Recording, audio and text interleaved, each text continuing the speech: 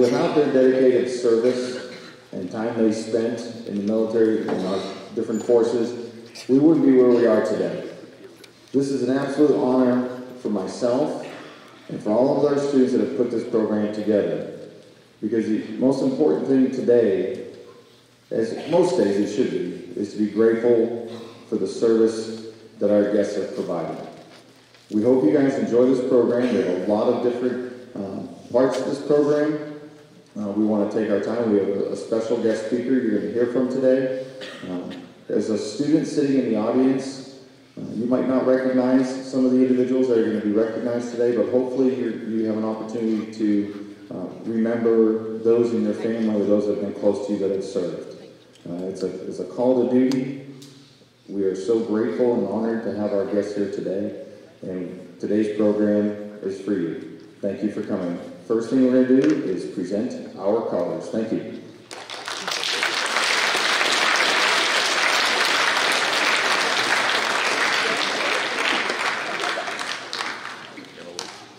Would you please rise for the posting of the colors? Post the colors.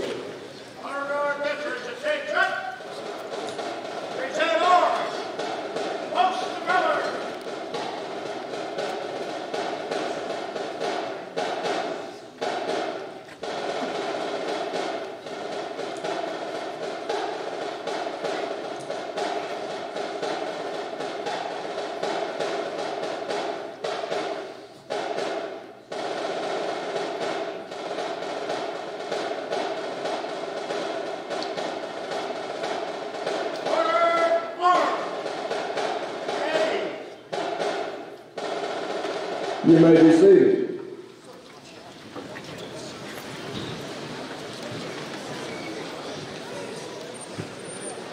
The U.S. flag is always posted to your front and to your left. It will be higher and brighter than the rest of the flags to be posted. The next black and white flag to be posted, that's the flag of the prisoners of war and the missing in actions. Since World War I, there have been over 142,000 prisoners of war. And since World War II to present day, there have been over 90,000 missing in action or unaccounted for. And I am sad to report that this number is still climbing. The next red, white, and blue flag to be posted, that's the flag of the North Georgia Honor Guard. That is the organization that all the veterans here today with me belong to, being honorably discharged from at least one, sometimes more, in the five military branches of this great nation.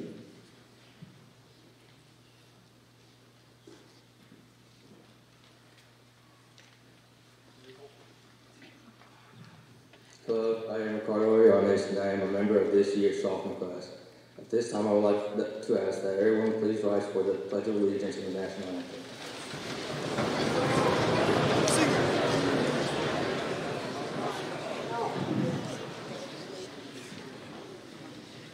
Pledge allegiance to the flag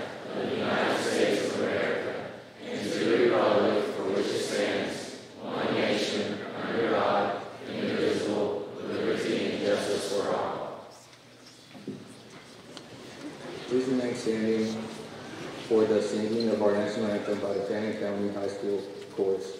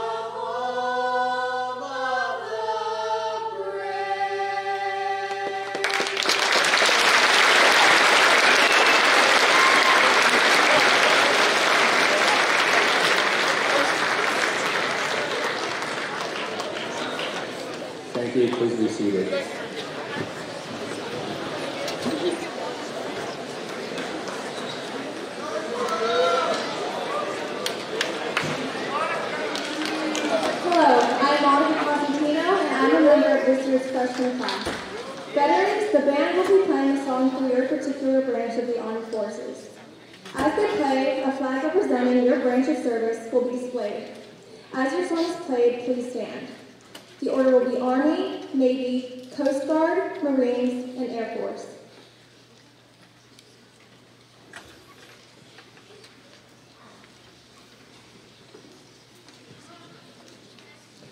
Those of you that served in the United States Army or currently serving in the United States Army, please rise for recognition.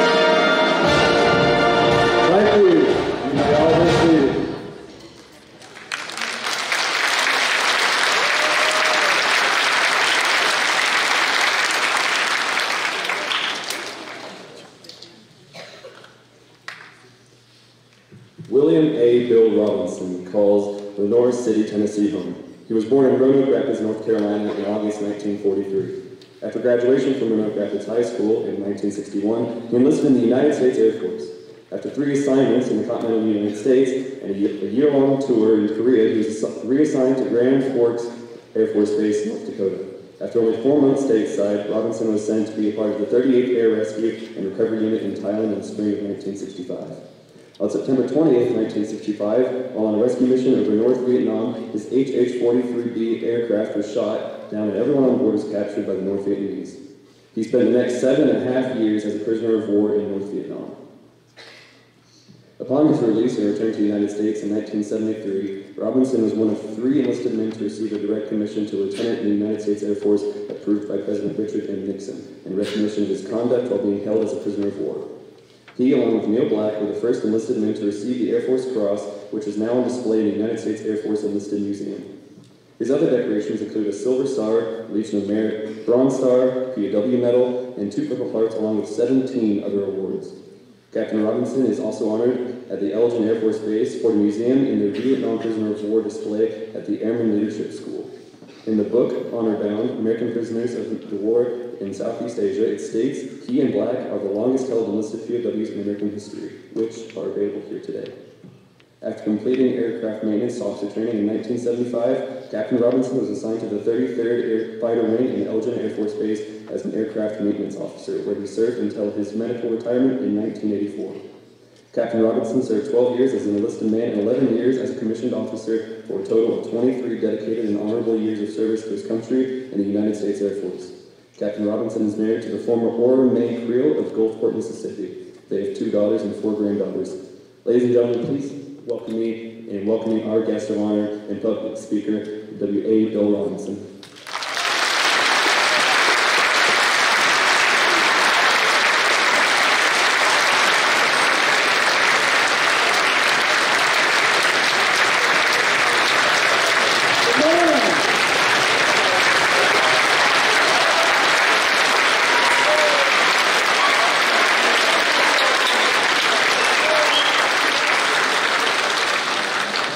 It is indeed an honor to be here to share a few minutes with you. And realizing as I look out this young group, except for the front row, uh, that we are looking at the future of America. The things that you see that you don't like, you someday will have the opportunity to change all of that so it better suits you. So essentially, pay attention. I grew up in a little cotton mill town in eastern North Carolina, and one day my grandfather, when I was probably eight, nine, ten years old, somewhere along that age, and he thought I was able to understand, he took me down to the cotton mill where he worked. Over in one corner was a plexiglass wall. Right next to it was a beautiful American flag like we have here. As I looked at that wall, the only thing I could see was name after name after name. Finally, my grandfather broke the silence about what I was looking at, and we started talking about when our country came under attack, these are the folks in our neighborhood that stood up and said, Take me. They ranged from 17 year olds to older people. Some before, before went their senior year in high school to serve their country, that only to come back years later and complete their education. But they thought uh, saving America and the world was more important than an education at that point and made that decision. Some of them were just cotton mill workers, and some were just the sons and daughters of cotton mill workers who simply said, take me. As we discussed the different names, my father, my uncle, many of my senior cousins are on that wall who had gone and served their country. At one point, I know noticed that some of the names had stars beside them. And I think we've all been inquisitive of stars. And I asked my grandfather, I said, what does that star stand for? He kind of with a lump in his throat and a tear in his eyes, he said, they're the ones who made the ultimate sacrifice for the freedoms that we enjoy every day. Just a few weeks ago, we had a traveling wall here in Blue Ridge. It had over 58,000 stars on it. of those from my generation that made the ultimate sacrifice for this nation. As we looked at that wall, we realized 39,000 on that wall were less than 19 years old, or 19 and younger. There was a couple on there that were 16 that lied so they could serve their country. When we look at that group, over 1,600 of them are still missing in action. And they join the others from other wars who have not had a proper homecoming yet. You know, when we look back, Vietnam is just like World War II in Korea. They're fading fast from the world. But when we look at participation, we think about in World War II, there was 100% participation. In Korea, there was 50% participation. In Vietnam, 10%. Present day, 1%. And veterans alive today total less than 3% of our population. So again, I ask our veterans to stand up and be recognized because they are the top 3% of our country.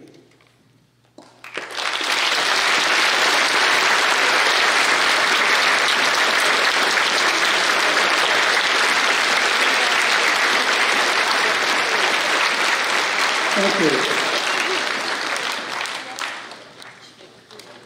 Yes, you might say that we left for Vietnam as teenagers and came back as men. My personal experience could be described as minutes, hours, days, weeks, months, and yes, even years of boredom punctuated by terror. I was on a rescue mission over North Vietnam. I was shot down and captured, and I spent the next eight Thanksgivings, eight Christmases, and eight New Years in captivity. A world with no Big Macs, no junk food, no designer jeans. We wore black pajamas, no Nikes. Our shoes were cut from the sidewall of an old car tire. No radio, no TV, no phone, no hot water, cold in the winter, hot in the summer, and limited, if any, medical care. Our treatment was that of a criminal, even though our government had stood up and labeled us as expendable, telling our families that we did this to ensure they had a reasonably comfortable life in captivity. But in reality, it was to get us off the front pages of the newspaper and TV, and it worked. Along with others, I was tortured. I was abused by the Vietnamese. Luckily, was on my side. I only spent about eight months in solitary confinement, where some guys spent over four years in a five by seven cell. Our outside time for the first five years was limited to about 15 minutes a day. I did not see the nighttime sky or see the stars or the moon for over five years. We were fed twice a day, a soup and a side dish. It was mostly a seasonal vegetables, and I'm here to report the grass grows year-round in Vietnam. We had two special meals a year, one at Christmas and one at their New Year's. It consisted of a piece of sweet bread, a cup of coffee, or maybe a little bit larger ration of meat. They proudly told us they were feeding us on 26 a day. And, and that was American value as to what we were being fed.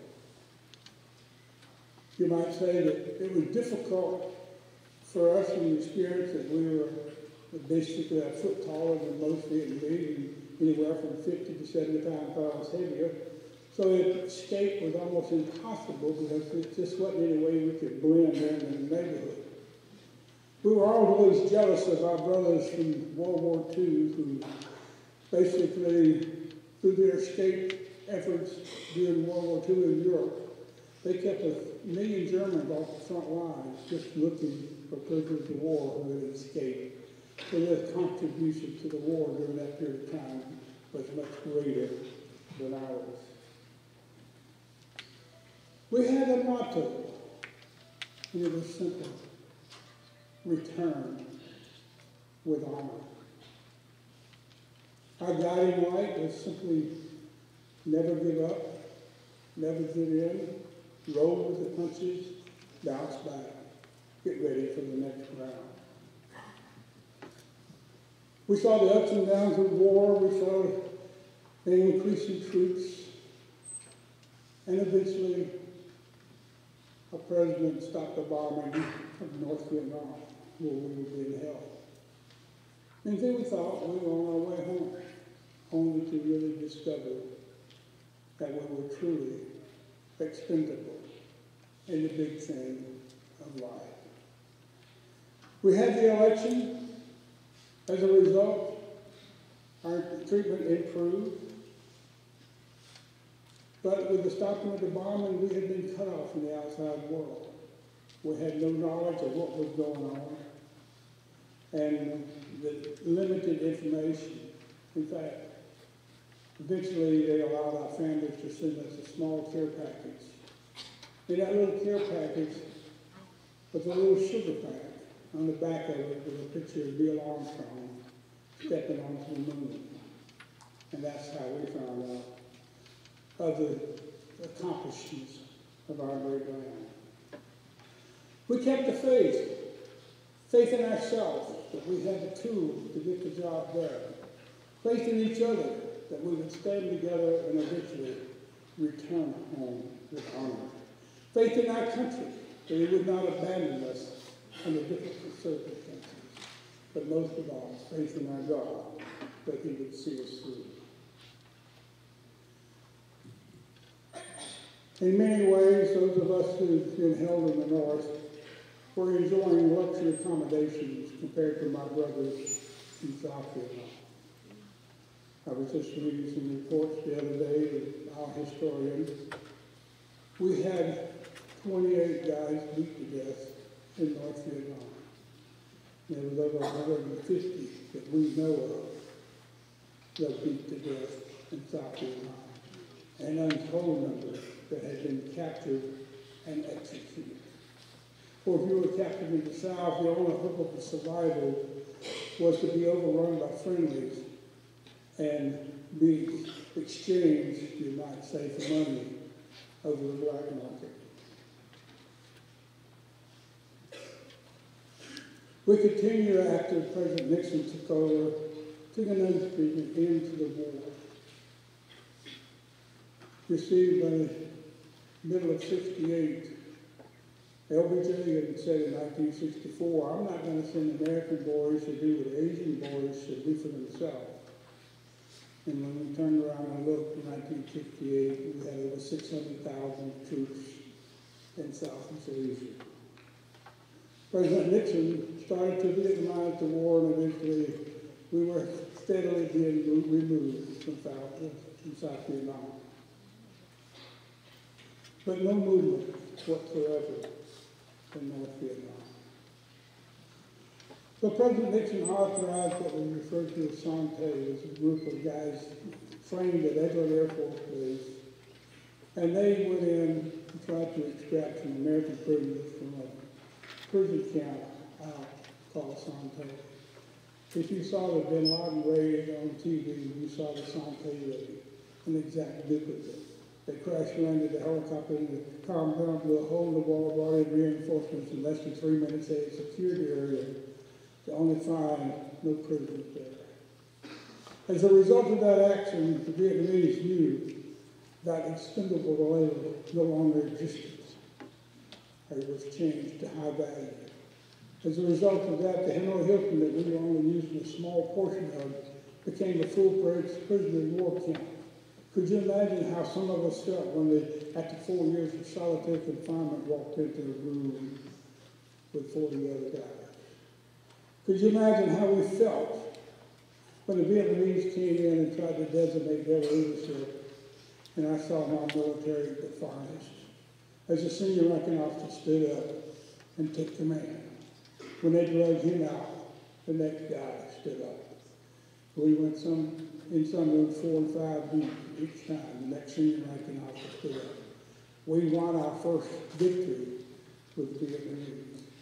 As a result of that, we have a little bit of negotiating power, and probably 20 or 30 guys who none of us survived another two years in captivity. We were able to get the Vietnamese to give us some help to take care of them, and they got to come home and spend time with their families. I think about this flag behind me over my right shoulder, and I think how much it means to me, and the heartbreak I felt over the years as people have disrespected something that's so important and so sacred to these gentlemen and ladies sitting here on the front row. You know, they, just like myself, signed a blank check, up and including in life, payable to you, for the United States of America. And they went into battle willing to give all. You might say, giving their future for yours. I think about my friend Mike Christian. One thing he thought was missing in the, in the bowels of the prison camp in North Vietnam was that flag. So Mike started gathering material, and eventually he gathered enough material using the clay tiles on the roof, cigarette ashes, and whatever he could find. He got the colors he wanted, and eventually he donned an American flag, proudly displayed it in the back of his shirt. Senator McCain was in the room when that flag was displayed for the first time, and he described the moment as these men stood up, saluted that flag, recited the Pledge of Allegiance, as they knew why they were here. Mike secured that flag a weeks on end. One day the Vietnamese came in and found it, and things went absolutely ballistic. Mike went forward to the room and identified himself as the maker of flag and caught a rifle butt across the back of the head and down he fell in front of his roommates. As they moved forward to assist Mike, the Vietnamese locked and loaded and drug Mike out of, out of the room feet first. We could hear as Mike was being beaten and beaten just because he wanted to share a flag with his roommates. Mike was eventually drugged back into the room near death, just like he left. His roommates picked him up, cold water, washed off in prayer. They nursed Mike back to health. Eventually, one day, Mike sat up middle of his bed with a grin from ear to ear and looked at his roommates, according to Senator McCain, and said, Time for flag number two. You never give up. You never give in. You go with the punches. You bounce back. You get ready for the next round.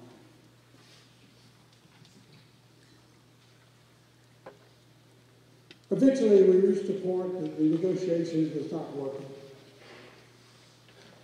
The only thing left was the release of the prisoners of war that were being held in North Vietnam, South Vietnam, Cambodia, and Laos. And the Vietnamese said, you just go in the house, we'll take care of that later. And the Americans said no. Because we knew there were French prisoners who had died in captivity waiting to be brought home. And in fact, the last group of French prisoners that were captured in 1954 were released in 1979 after twenty-five years in captivity. And America would not allow that to happen to her son. As a result of that, President Nixon, when they walked away from the table, unleashed what was referred to as linebacker two. During that period of time, we dropped more bombs than ever been dropped in the history of mankind. Not to advance a war, but to secure the freedoms of some 500 plus Americans being held in captivity. Eventually, the Vietnamese came back to the table, signed an agreement, and you might say we were homeward bound. A friend of mine was asked, could you define freedom? And the simple response was, doors with inside knobs. To me, as I look back on Vietnam, I think about the hero's welcome that I got coming home. I got to wear my uniform and see the shining sea. I got put on this day as a representative of an end to war that had been eluding us for so long. I could not imagine my brothers when they came home. There were times when they left Vietnam so that they would land in darkness in our country. And they were ushered from the airplane to a bathroom in order to remove their uniform as so not to offend anyone. They were not given the proper welcome home. They were not given anything. And they were treated as though they had done something wrong. They were truly America's real heroes.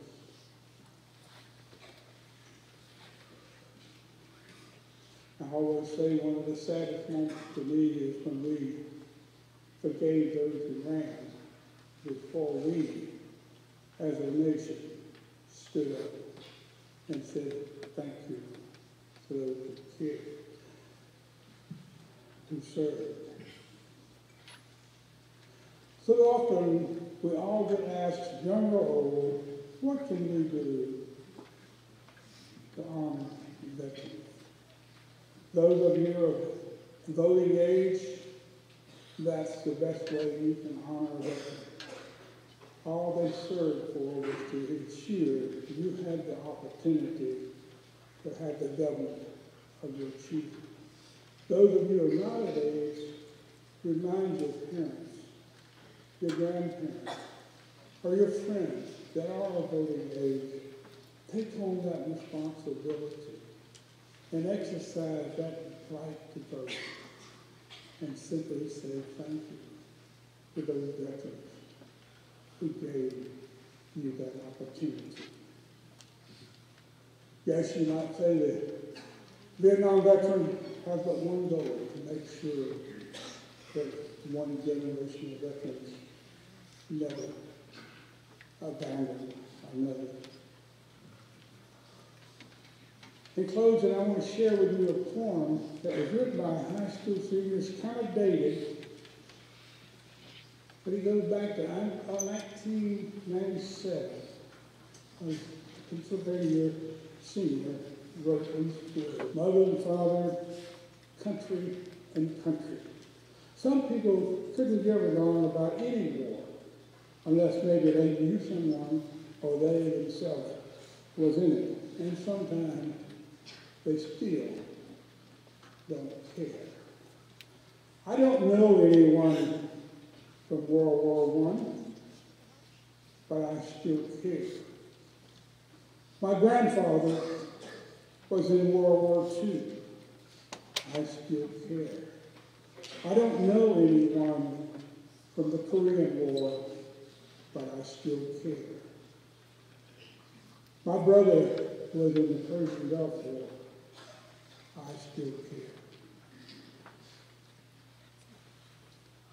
My, my grandfather, my father, and my brother all came home. Thank God. They are my heroes, and I still care. Thank you.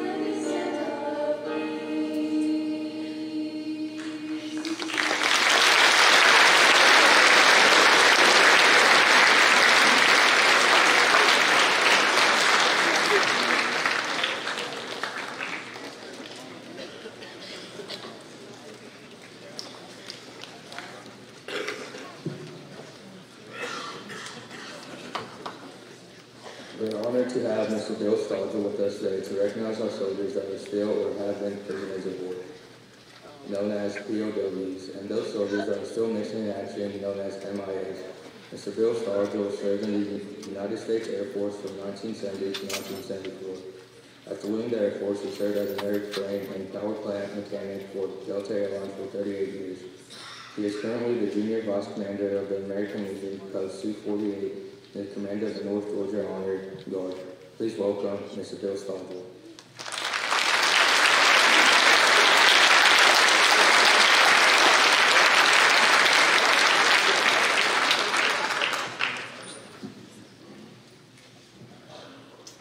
Thank you for that warm welcome.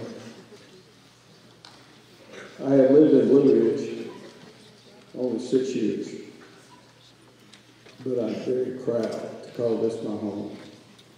This is the most patriotic county I've ever lived in, the most patriotic people I've ever known. It is my honor and my privilege to be here today. Now we want to recognize the prisoners of war and the missing in action. The empty chair you see on the stage here, to my right, is a symbol of the thousands of American prisoners of war and missing in action from all the wars and all the conflicts we've had in this great nation. The cover is a reminder for all of us to spare no effort to secure the release of any American prisoners from captivity and the return of the remains of those who have died so bravely in defense of the liberties and a full accounting of those that are missing. We must not forget their sacrifices. They're still making and their families are still suffering. They're suffering and enduring for us in our way of life. We must keep them alive in our minds and our hearts until we know they have returned home to their nation and their families, or they dwell in the house of our Lord forever. We must continue to give moral support to their families. They're still suffering. From World War I to present day activities, as I mentioned earlier, with the POW and MIA flag. There have been over 142,000 prisoners of war. And from World War II and all the conflicts since, over 90,000, and that number is still climbing today. May God bless you, this city, this county, this country. And may God bless all the veterans here today. Thank you.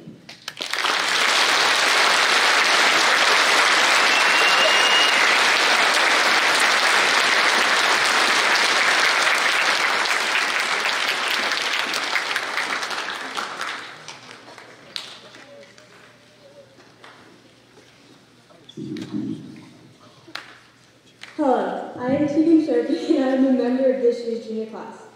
At this time, we would like to invite all of our veterans in attendance today to the stage to be recognized. Veterans, if you will, please assemble in a line to the right of the stage. As your name is read, enter the stage and then form a line. Please remain stage until all veterans have been presented.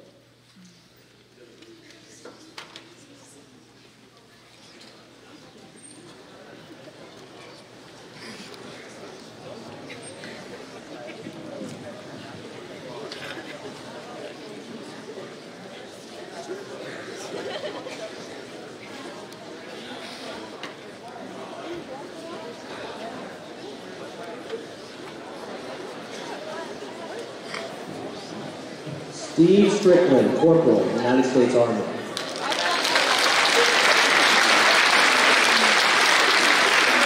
Chris McKee, Command Sergeant, United States Air Force.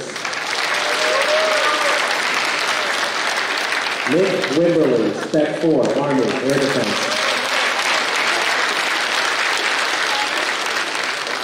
Bill Stodger, Sergeant, United States Air Force. Richard Crosley, Staff Sergeant, Air Force. Gerald McMillan, Chief Petty Officer, United States Coast Guard, 20 years. David Henson, Specialist, United States Army. Sharon Culpepper, Specialist, E4, Army National Guard. Marty Godfrey, Sergeant, E5, United States Army. Harry Goss, Colonel, retired, United States Army Reserve. Louis T. DeLeese, E5 Sergeant, United States Army. Raymond White, Spec 4, United States Army. Glenn Hughes, Sergeant, United States Army. Wayne Stiles, Sergeant, United States Army. Julian Black, E4 Petty Officer, United States Navy.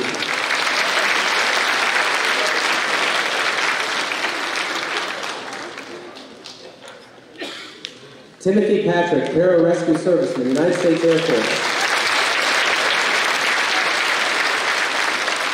Phil Couch, E3, United States Navy. Roy Bradford, Sergeant, United States Air Force. Shane Bogg, Major, United States Army. Sonny Payne, Specialist, 4th Class, Army, Vietnam. Jerry L. Williams, Sergeant, United States Army. David Sanders, Major, United States Army. Robert Mills, Sonar Technician, Submarine First Class, United States Navy.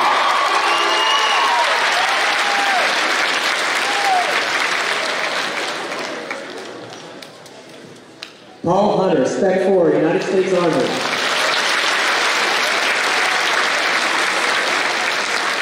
Charles B. Spivey, Sergeant E5, United States Army.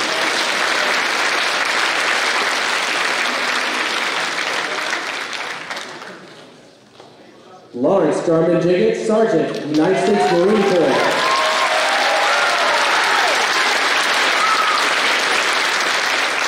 Rod McIntyre, E5, United States Army.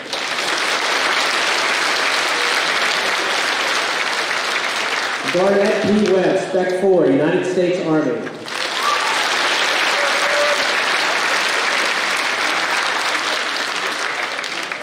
James E. Jeans, E4, United States Army.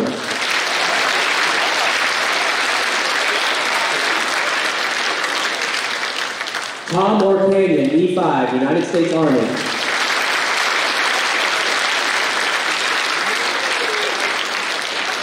Tim Joyner, E6, United States Navy.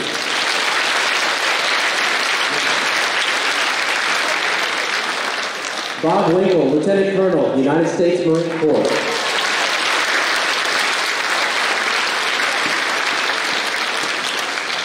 Bob Alderson, E4 Corporal, United States Marine Corps.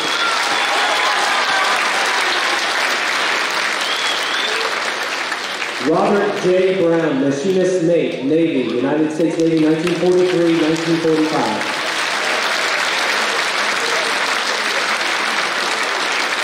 Graduate of Fannin County High School, 1939.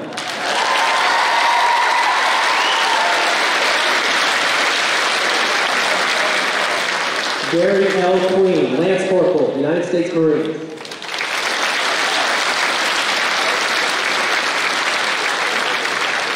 Larry Payne, Specialist 4,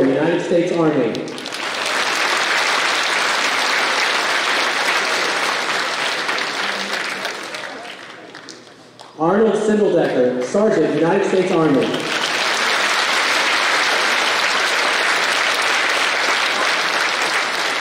W.A. Bill Robinson, Captain, United States Air Force.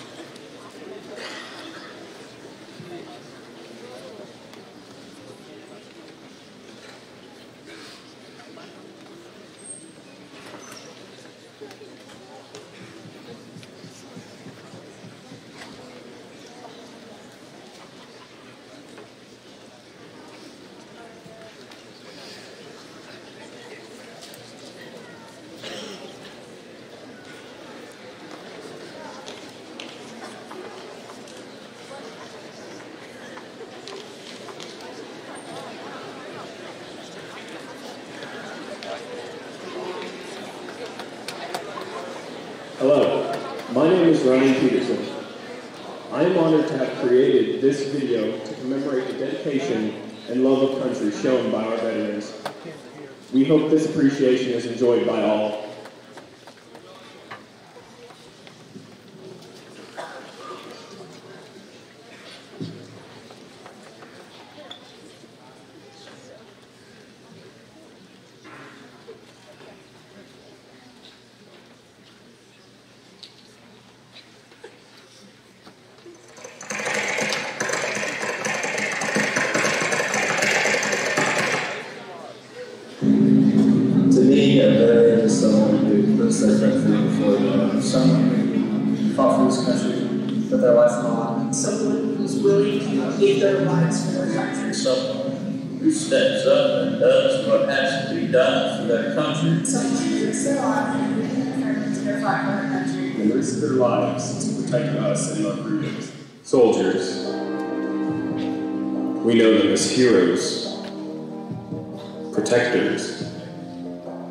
Veterans. Today we honor and recognize the brave men and women who fought for our country. Whether they are home or protecting our freedom. There are currently 83,204 soldiers that are MIA or POW, and we pray those brave men and women who are still lost and for the unfortunate families whose loved ones are still out there fighting to get home. They risk their lives by fighting in dangerous, risky, and scary environments. They have been taken prisoner by the enemy, and some are still out there today. They put themselves on the line for our country and the people inside it, and for that we say thank you. Thank you, veterans, for everything that have done for the kids of America, the adults of America, all the American citizens. Thank you, veterans. Thank you, veterans. Thank you, veterans. Thank you, veterans. Thank you, veterans. Thank you, veterans. Thank you. Thank you. Thank you. Thank you. Thank you, veterans, for your service. Thank you. Thank you for your sacrifice, veterans. Thank you.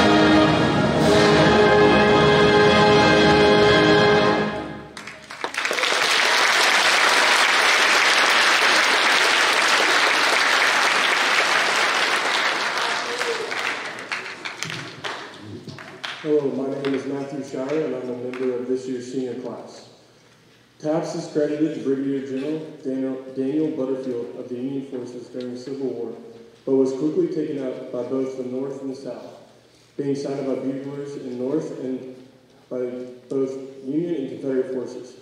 TAPS is used today by American servicemen as an end-of-the-day lights out signal. In addition, it is a vital component in the ceremonies honoring military members that have passed away. When taps is played at a military funeral, it is customary to salute if in uniform or place your hand over your heart. Please rise for taps and the retiring of the colors.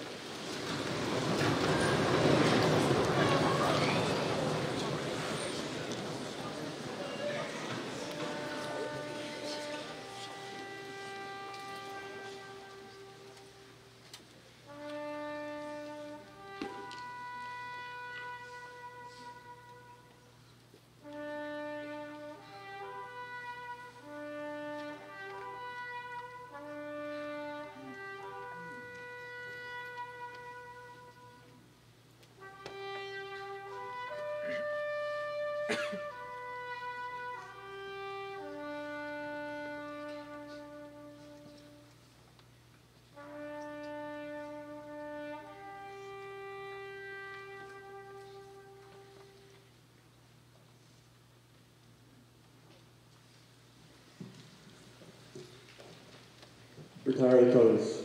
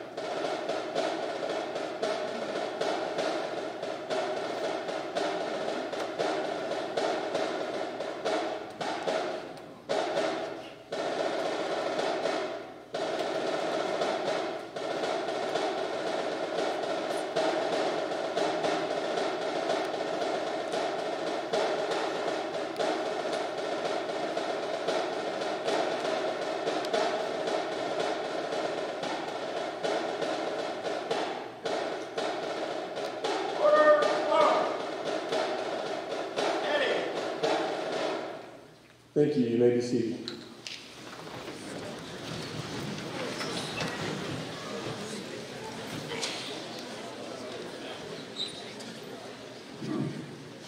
Once again, I just want to say thank you to our veterans that are here today. I do have a, a couple students I do want to recognize. While many of you in our student body spent some time this summer enjoying time with friends, working, doing different things here at home, we have two students that completed basic training with the Army National Guard. So they are all set to go after graduation this year. So I'd like to take a moment and recognize Alyssa Goodwin and Tyler Conley. Please stand.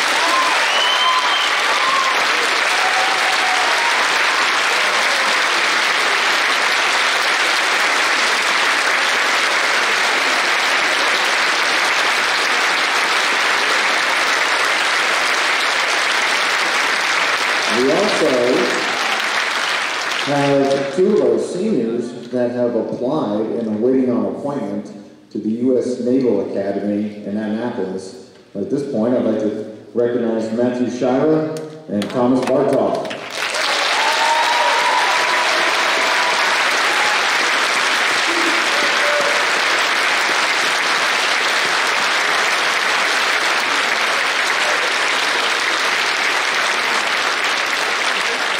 And we do have some seniors that have chosen to uh, pursue a career in one of our military branches after graduation. So if you're a senior that you've already enlisted or plan to enlist, could you please rise so we can recognize you as well?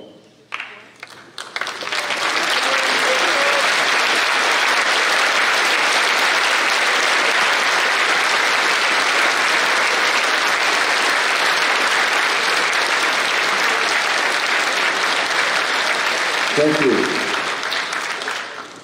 It takes a lot of our students' involvement and our, our teachers to put on this program. So Ms. Holsworth and Mr. Bonstead, thank you for your uh, groups performing for us today. I'd like to thank uh, Ms. Matthews and our FFA for helping uh, align our guests uh, to their seats and just welcoming everybody. Uh, Mr. Gibbs and his video production, thank you for the video. And then, of course, downstairs, after we're dismissed here, our veterans and their families are welcome to join us downstairs for a brunch uh, that's put on by Mrs. Adams and Miss Owensby's classrooms. Um, we want to treat you guys to a, a lunch for us. And Mr. Bill Robinson is going to have a book signing. And uh, one thing I pulled away is never give up and never get it, give in. So I appreciate your message to our students and for spending the, your day here with us today. Uh, I'd like to thank our students and, of course, your guys' attention uh, during this, this show, this presentation. Um, we're very grateful, veterans. We'll be meeting you guys downstairs. I hope everybody has a great afternoon. Our seniors will dismiss first, and then the rest of our classes will go on to their next period. So thank you, everybody, uh, for being in attendance today. Thank you.